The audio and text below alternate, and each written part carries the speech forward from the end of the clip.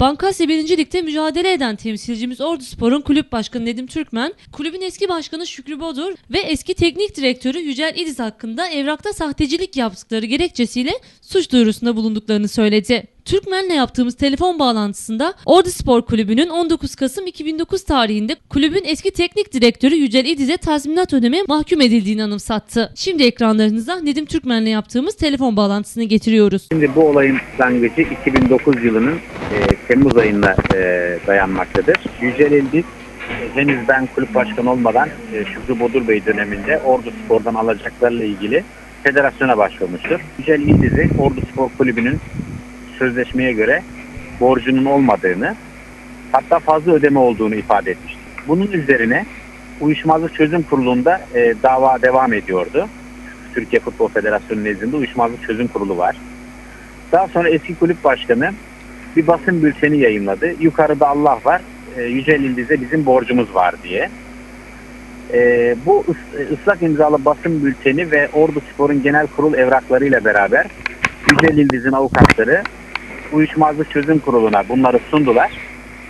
Uyuşmazlık Çözüm Kurulu da eski başkan bu borcu kabul ediyor diye e, Ordu Spor'un Yücel İldiz'e e, 145 milyar lira ödemesine karar verdi.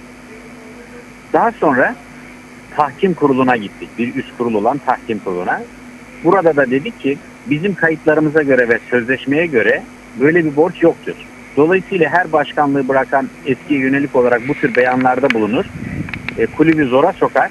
Siz elinizdeki sözleşmeye göre karar vermek zorundasınız dedik ve e, tahkim kuruluna başvurduk. Türkmen dava devam ederken Yücel İdiz'in avukatları tarafından mahkemeye bugüne kadar ortaya çıkmayan, kulübün kayıtlarında da yer almayan bir ek protokol belgesinin sunulduğunu belirterek bu protokol sonradan düzenlenmiştir dedi. Konuyu yargıya taşıyarak Bodur ve İldiz hakkında evrakta sahtecilik yaptıkları gerekçesiyle mahkemeye başvurduklarını ifade eden Türkmen şöyle devam etti. Daha sonra tahkim kurulu uyuşmazlık çözüm kurulunun verdiği kararı onayladı. E, bunun üzerine ben Sayın Bodur'la ilgili Üsküdar'da bir dava açtım.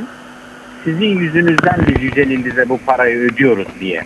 Rücuen alacak davasıdır bu. O dava devam ederken o davada federasyonun federasyondaki bu konuyla ilgili dosya istendi, celbedildi mahkeme tarafından. O dosyayı incelediğimizde şunu gördük ki tahkim kurulu safhasında o ana kadar hiç ortada gözükmeyen bir ek protokolün sunulduğunu gördük. Sunulurken de şöyle deniyor efendim e, muhasebecisinin evrakları arasında bulmuş fotokopisini bulmuş ve tahkim kurulu da diyor ki bu ek protokole dayanarak bizi mahkum ediyor. Yani e, uyuşmazlık çözüm kurulunun kararını e, onaylıyor. Biz bunun üzerine tahkim kuruluna yargılamanın yenilenmesi için başvurduk ve Sarıyer Cumhuriyet Başsavcılığına da özel evrakta sahtecilikten suç duyurusunda bulunduk.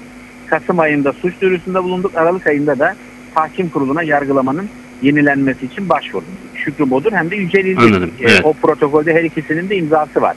Siz teknik direktörsünüz.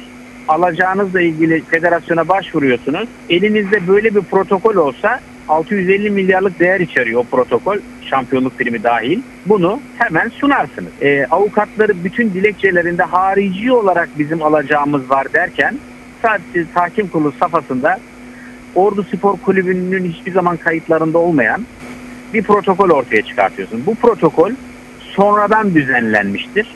Bunu nasıl ispatlıyoruz? Eğer böyle bir protokol olmuş olsaydı eski kulüp başkanı yukarıda Allah var hocanın bizden alacağı var demek yerine ek protokolümüz var derdi. Böyle bir protokol olmuş olsaydı Yücel İldiz davasını açarken hem o ilk sözleşmeyi hem de bu protokolü sunar. Olağan akışına aykırı bütün bu olaylar. Biz de bunu tespit ettik ve e, şimdi hem yargılamanın yenilenmesini istedik hem savcılıktan özel evrakta sahtecilikten dava açılmasını istedik.